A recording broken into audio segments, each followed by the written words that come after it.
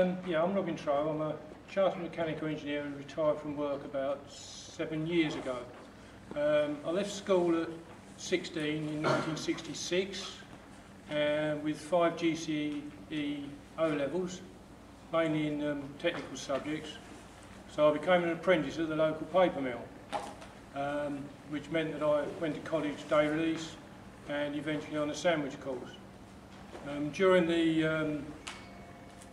uh, apprenticeship, I did lots of work with in the workshops and practical work, including one stage using a hacksaw to saw through a, an 18-inch steel beam that was in the way of some work that they were going to, some maintenance work they were going to do that they couldn't um, flame cut because of the fire, fire risk. That took a, that was a whole Sunday spent doing that. Um, and another day we had to lift a 10-ton uh, turbine rotor about four metres up in the air to go onto the turbine floor um, using a hand-powered crane, which meant you pulled, pulled down on the chains about a metre and the thing moved about a millimetre. So it took all day to do that as well. So it was very hard work. But after the apprenticeship, I got some quali enough qualifications to become a chartered mechanical engineer. And I changed jobs. I became a design engineer for mechanical handling equipment. And uh, we mainly for the paper industry again, and we worked on, all around the world on different, different projects. On um, one project we did, we were told we were going to be handling uh, sugarcane waste, and they, we said, well, what's that? So they sent us this bag of sugarcane waste looked more or less like straw. Um, so we built a conveyor, lightweight conveyor to handle this, and then found out when we were on site installing it that in fact sugarcane waste after two years on a slab in the rain and sun is more like a caramel with fibres in it so it was uh, virtually impossible to handle. Um, but we, we, we worked at it and got, got a system working. Um, after seven years with that company, I moved on to another firm that did um, industrial combustion equipment. Um, so we did burners for uh, power station boilers, air heaters for making soap powder, um, air heaters for coffee making, dry coffee, and um, for mashed potato. Now, most of the, the um, soap powder air heaters and the um, mashed potato air heaters were all gas powered. The coffee ones were um, used diesel oil because they didn't care whether they got any black in it from the soot because you couldn't see it. Um, so be careful when you're drinking your coffee. Um, one of the jobs we did there, I did there was a um, boiler control system which was worth about three quarters of a million pounds for a uh, oil refinery. And we had to make it very reliable. We had to run at full, full power or full output, more or less um, 50 weeks of the year. Um, because if they lost the boiler system, they'd lose their catalytic converter, which would cost about £100,000 an hour in uh, stoppage costs.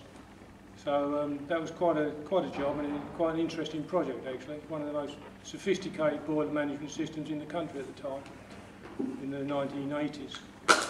Um, again, after about seven years with that company, I moved to Southern Water um, on their capital works program. And for the last 20 years of my career, I was working for Southern Water and, uh, and, uh, and their main supplier on the capital works, designing sewage works and designing uh, sewage pumping stations. Um, two of the highlight projects I did there was uh, uh, being the lead mecha mechanical, electrical, instrumentation, control and automation engineer for a 60 million pound um, sewage works upgrade, um, which was quite interesting and quite demanding and also rebuilding a pumping station that had been designed by a company that didn't know what they were doing and didn't perform as, as expected. Um, was badly designed in every respect and we had to get it working without really changing any of the structure. Um, and that was about a million pounds worth of work and we get it, got it done in, in about nine months we did the project and got it working and instead of costing £10,000 a month to uh, maintain, it now costs nothing to maintain apart from normal um, operational spares and operational maintenance. Um, so I was quite proud of that particular project. Um, then uh, say, seven years ago, I decided that uh, I'd had enough of working and, and retired. So that was, that's a nutshell of my career. Um, any questions? It was maintenance work at the start of the, my time. Um, the company I worked for, they had a small training college, so I spent the first year at work at their training college, um, doing day release um, uh, at college. And then I went on to one of the, went to one of their maintenance workshops, helping the training to be a millwright. Well, I suppose it's millwright is the proper term, but it's a maintenance fitter, um, working on maintenance of the machines um, and general work of that nature. Um, I passed uh, ONC, I think it was, with the certificate I got, which and I got good marks in that, so they took me on to a sandwich course, a three-year sandwich course to do um, HND and a, and a certificate called CEI Part 2, which is a you know, IMechE Institution of Mechanical Engineers uh, qualification. And during that time I did six months at college and six months in the works doing around the various departments. Um, either sometimes we're working, uh, doing work, uh, maintenance work and sometimes just doing office work and design work. How old am I? How old am I what's my name? Uh, I'm 64 and my name is Robin Trow. How did I get the apprentice placement? Yeah. Um, well, in those days, it was probably, uh, might have been simpler than it was now. I wrote lots of letters when I was at school, um, you know, before I left school, and to several companies in the area. And I, I was offered jobs at three companies. One was a company called Open Aero in Strood, which did uh, gearboxes. Another one was Tilling Stevens, which is part of the Rootes Group, and they built um, engines for Commer vans and the other one was Reed Paper as a paper mill. And I went to Reeds because I think they paid me five pounds, twelve and sixpence a week, which is about five, five pounds sixty-two, and the others were only paying me five pound twenty-five, I think, and that's why I took the Reed job.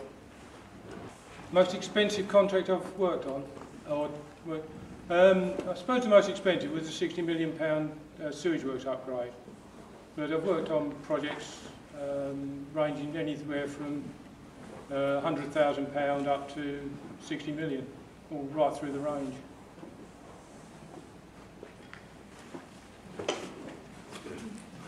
Oh, I don't know. What would make it better if I did my job again? Um, I don't know. I think I, I, I always worked to try and do as well as I could, and I always thought, well, when I get to the stage where I can't improve on the job, I won't, I'll stop work. And I thought I got to that stage actually. Um, so I don't know what would make it better. No, I can't answer that one, I'm afraid. I have to think about that one.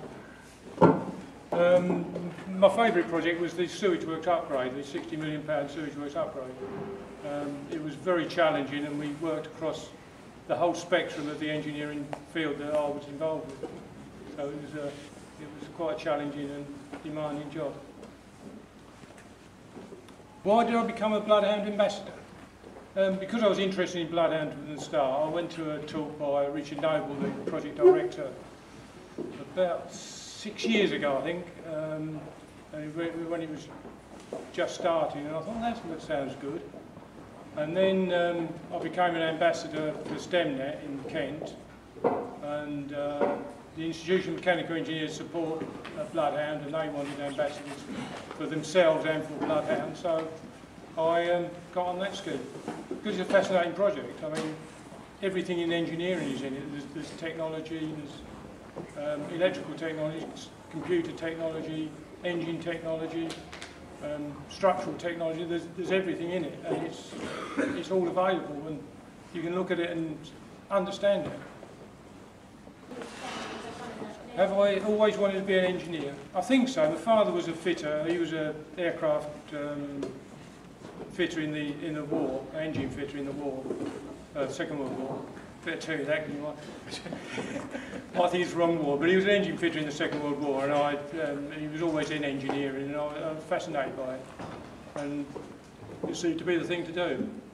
Um, working for Southern Water, I was there for 20 years, um, and range, virtually all the time working on their capital works project uh, program, which meant that we were doing all the upgrades of all their, their, their systems as they became, as EU regulations made it more and more stringent what they were pushing out into the rivers. Um, and it meant that every five years there was a new challenge to things. So it was good working for them. It was interesting work. Would I take a job because of the, the money was good but the job was horrible, or would I take a job because of the money was poor but the job was good?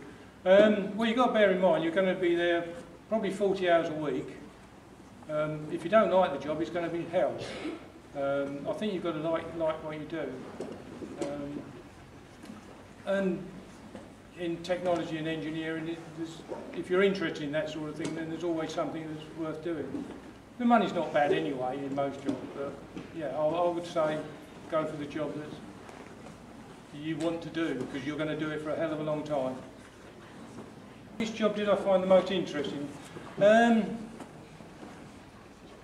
I suppose the, the Southern Water one, with the, because it was very, very varied with the sewage works and the pumping stations and that sort of thing. And, and it, was, it, it was going through, at the time, when I started with them, it was very low tech. And by the time I finished in 20, after 20 years, it became a very high-tech process. Um, it turned from a sort of back, uh, farm type attitude of, of low quality engineering into something that was quite sophisticated. It might not look it when you drive by a sewage works, but I can assure you the new ones are quite sophisticated. If I wasn't an engineer, what else would I have done? I don't know. I think I'd have had to work in something to do with science, something in the science, the STEM area. I was very good at maths, I was very good at physics, I was reasonably good at chemistry, and I could get by in the metalwork and I could get by a technical drawing. Um, so it would have been in those fields. My English, I don't know whether I took English O level or whether I and failed or whether I didn't take it. I can't remember now. But I know I didn't pass. but English, but having said that, English is very, very important, and you, you really, you know, English is, is an important subject you should try and concentrate on. Yes. That's difficult to say really because you learn you learn all the time when you're in engineering technology moves on all the time, so you're always learning.